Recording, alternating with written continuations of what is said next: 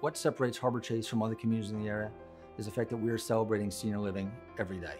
Our Director of Beautification makes sure our residents are looking their best. We offer very stunning options run by our executive chef. So one of my favorite things to do is create personalized experiences with our residents.